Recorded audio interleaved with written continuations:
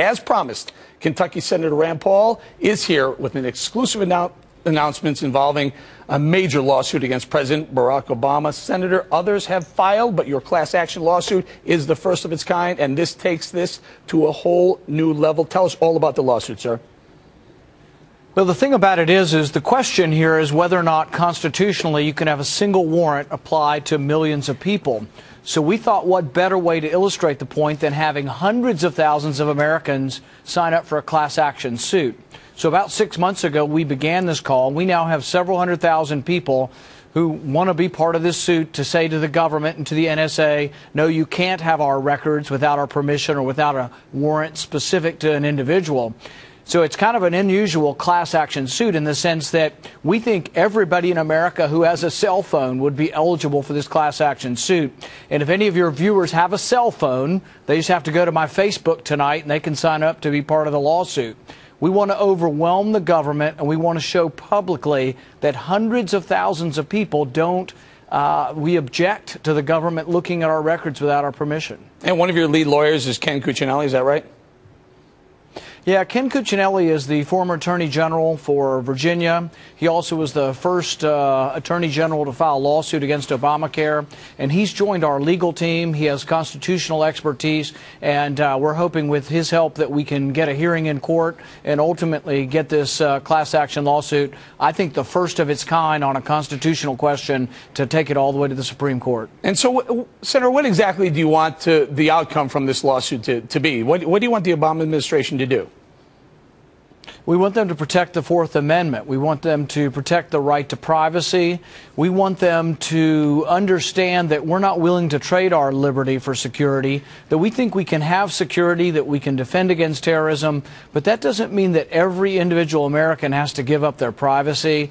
And we think we can have both, but we are very upset that this president doesn't seem to be too concerned with our right to privacy. So are you looking for the, the administration, President Obama specifically, to turn to the NSA and say, hey, um, be more diligent when you go to the FISA court to ask for the warrant? Is that what you're looking for? Yeah, well, you know, I've actually introduced legislation that would make it more specific. When the president goes to the FISA court and the FISA court issues a warrant for all of the cell phone records in the country, we want the cell phone provider to be able to appeal the FISA court, which is a secret ruling. We want them to be able to appeal that ruling into a public court, such as the Supreme Court, because we don't think a question of constitutionality should be decided in secret. Now, this sounds like maybe sounds like a crazy question, but I'm, I'm very serious about this, Senator. Are you worried that you're being monitored by the NSA and other uh, in other mm-hmm. agencies?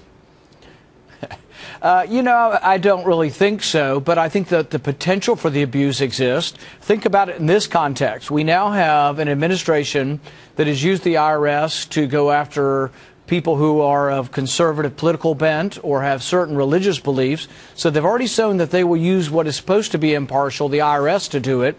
Uh, leads me to wonder and worry whether or not they would use the NSA that way. I have no proof that they have, but I am concerned that it could be abused. But I'm also concerned that even if a president isn't going to abuse a power, I am concerned that the president thinks he has the power to collect all our records. And when they came out of the White House with several congressional leaders about a month ago and they said, oh, we're not spying on Americans, because they defined the collection of this data not to be spying. I am concerned that they're going to whitewash this and that he's going to say, oh, we have these reforms, we've looked internally, and we have some new controls. Well, no, this has to be decided publicly by the Supreme Court. The president doesn't get to create the law, write the law, and decide and adjudicate it. This has to go before the Supreme Court. All right, Senator, let's play a soundbite from March uh, of 2013 with James Clapper testifying to a Senate, to a, I believe it was a Senate panel, Senate or congressional panel. Listen to the soundbite.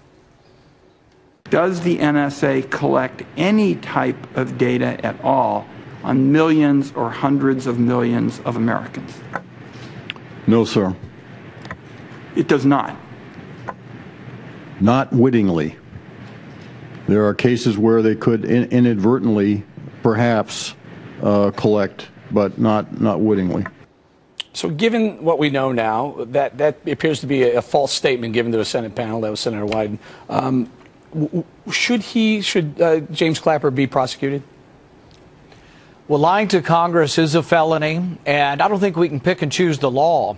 You've got all of these people, like James Clapper and other, beating the table and saying that we want to put uh, Edward Snowden in jail for life and yet they don't want the law applied to themselves. No, the law has to be applied equally, and that's one of the real tenets of American jurisprudence is you apply the law, the law equally. I frankly think it would be somewhat enlightening for James Clapper and Edward Snowden to share a prison cell, and then maybe we'd all learn a little bit from that. Hmm. Um, uh, do, do you distinguish between the data mining of phone records, which would be who I called, how long I spent on the phone and the, and the phone number of the, the, of the number I called versus some of the bodies of these, the actual conversations we've had, and maybe even the same going for emails. Not only just who I email, but what I'm actually saying in the email.